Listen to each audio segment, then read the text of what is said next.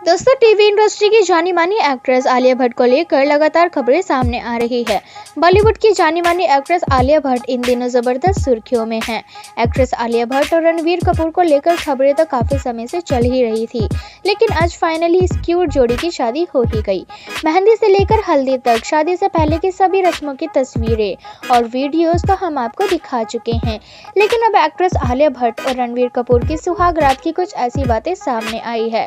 कि जिसके बारे में जानकर आप भी हैरान ज़रूर हो जाओगे। जी हाँ दोस्तों तो आखिर कौन सी है वो बातें? जानने के लिए इस वीडियो का एंड तक ज़रूर देखिएगा। और दोस्त, आगे वीडियो शुरू करने से पहले आपसे एक छोटी सी रिक्वेस्ट है कि अगर आपको भी एक्ट्रेस आलिया भट्ट पसंद है तो वीडियो को लाइक और चैनल को सब्सक्राइब करना बिल्कुल भी ना भूलिएगा। दोस्तों, आलिया भट्ट और रणबीर कपूर, इन दोनों ने अपनी सुहागरात की कुछ ऐसी शर्मनाक बातें बताई जिसे सुनकर सब हैरान हो गए। जी हाँ दोस्तों, आपने बिल्कुल सही सुना। दोनों ही एक दूसरे से भी इंतहा मोहब्बत करते हैं और हाल ही में इन दोनों ने एक मैगजीन में अपने इंटरव्यू में जवाब दिया, जहाँ आलिया भट्ट और रणवीर कपूर ने अपने पहले किस्से लेकर कई बड़े खुलासे किए और मैगजीन को दिए गए इंटरव्यू में आलिया भट्ट और रणवीर कपूर से पूछा गया कि इन दोनों की पहली किस कहाँ पर हुई थी। तो इसके जवाब में इन दोनों ने बताया कि पहले किस उनके घर पर हुई थी और जब इस इंटरव्यू में रणवीर कपूर से पूछा गया कि उन्होंने पहली डेट पर क्या पहना था तो रणवीर कपूर ने इस पर जवाब दिया कि वे ब्लू जीन्स और वाइट टी शर्ट पहनकर आए थे और वहीं इस डेट में आलिया भट्ट ने बाल खुले रखे थे और बीच का पार्टीशन क्या हुआ था और रेड कलर की लिपस्टिक लगाई हुई थी।